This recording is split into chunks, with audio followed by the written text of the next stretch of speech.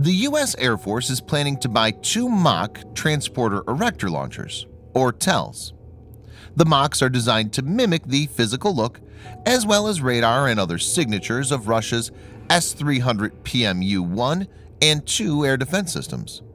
The Air Force is expected to place it in the Utah Test and Training Range, or UTTR, so they can be used for training exercises. U.S. military faces challenges from many weapons, but only a few of these are thought to be threatening enough to need extensive training to counter.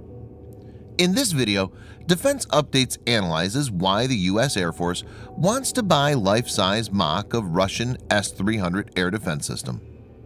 Let's get started. This video is sponsored by the free-to-play military vehicle combat game War Thunder.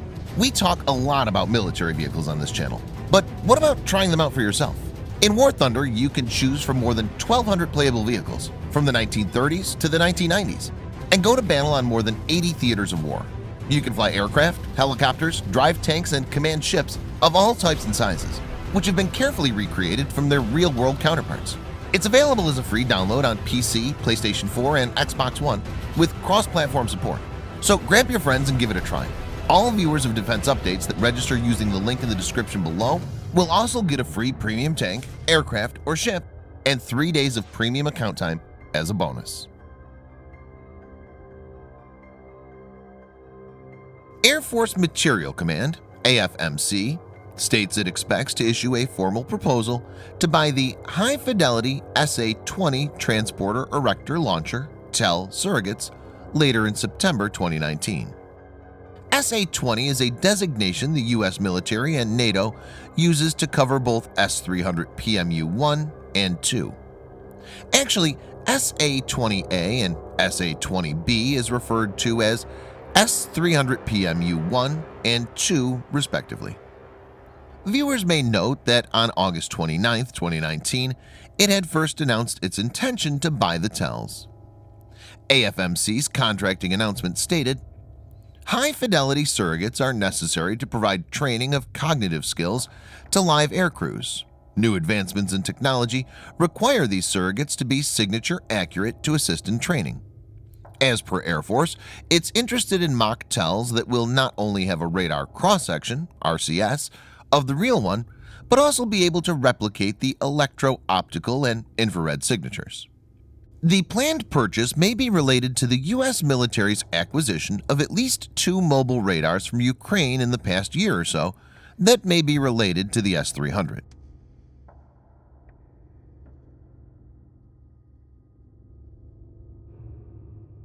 The S-300 is a Russian long-range air defense system produced by NPO Almaz. The system was first deployed by the Soviet Union in 1979 since then, many variants of the system have been produced. S-300 is considered to be one of the most lethal operational air defense systems in the world. Russia has already deployed its S-400, which is an upgrade of this, and is working on S-500. The system is designed to protect important areas like military bases, administrative buildings against aerial threats like jet fighters, bomber aircraft, cruise missiles, and drones. The P in S300 refers to mobile variant. PMU2 means mobile modified and second upgrade. Viewers may note that S300 PMU3 is renamed as S400.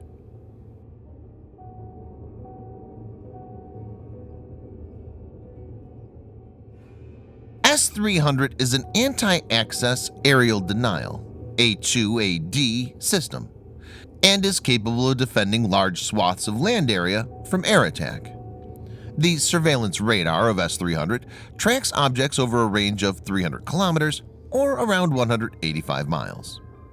The system's engagement radar can guide up to 12 missiles simultaneously and is highly resistant to jamming through electronic warfare.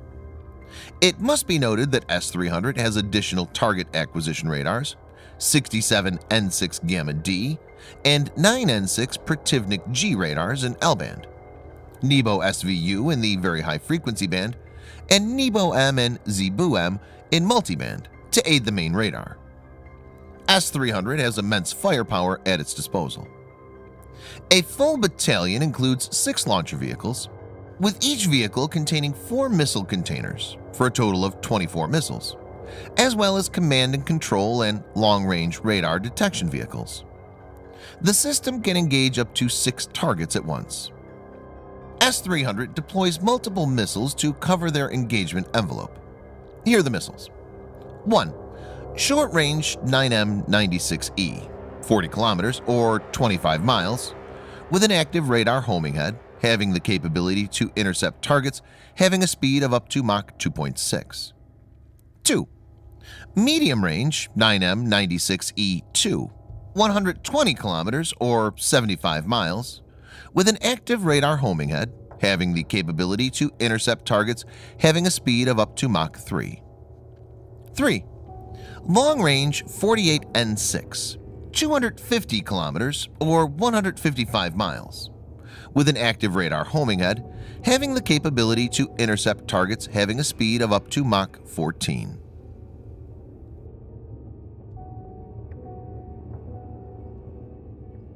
There are five reasons that make the S-300 a threat for any Air Force. 1. The missiles deployed by S-300, like 40N6 and 9M96E1, are not only guided by the system but also have active radar homing ARH capabilities. So these missiles are guided to the target by radars of S-300 in the initial stage, but when they reach near they can maneuver on their own. This makes the missiles very agile and hard to shrug off. 2. Some of the radars in S-300 are thought to be capable of detecting even stealthy aircraft, making it effective against fifth-generation fighters and bombers. 3. S-300 has many features specifically designed to overcome electronic warfare EW. For example, the very powerful radar is resistant to jamming due to its ability to change frequency of its signals very rapidly. It's also equipped with Topaz Kolchuga M, KRTP-91 Tamara, and 85 V6 Orion Vega emitter locating systems. And these components are designed to engage emitting targets without emitting from the acquisition radars. 4. The 250 kilometer or 155 miles strike range makes it very hard for a rival to destroy it through standoff strike. It is also to be noted that S-300 is a highly modular system. For example, the radar can be used independently of the missiles for command and control purposes. So just because the radar is there doesn't mean the entire system is there. These aspects make it very unpredictable and difficult to target. 5. S-300 can guide up to 12 missiles simultaneously, engaging up to 6 targets at once. This basically means it's very hard to saturate the S-300 with a barrage of missiles. Overall, it can be said that an area protected by S-300 will be hard to penetrate even by the most capable Air Force, including the U.S. Air Force.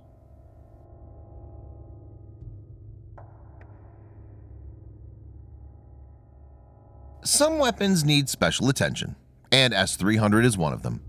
An important thing to understand is that a system like S-300 can inflict far larger damage to a rival than the cost required to deploy it. A single battalion could wipe off a fighter squadron or even more. Hence, extensive training and strategies need to be developed against a weapon like this. So, buying and training against mock-up of S-300 makes sense, as this will enable the U.S. Air Force to prepare realistically and understand the hazards more clearly. This kind of exercise will help in evolving strategies that will enable the Air Force to counter the S-300 in a real battlefield in the future. This is not the first time the U.S. military is doing this, and it's actually acquired original examples of foreign military equipment in the past. S-300 is a prized asset for Russia, and even a stripped-down version is not likely to be available for sales to the U.S. Also, there are political considerations like if America buys actual S-300 for training, it will indicate that it's highly concerned about the particular weapon, and this could have an adverse impact on sales of American hardware, like fighter jets and air defense systems. So surrogates are more viable, lower cost alternatives, and will draw much less attention from rivals and allies. Thanks for watching. Subscribe for more videos like this. Hit the like button if you find the video interesting, and kindly provide your feedback in the comment section. This will help us improve.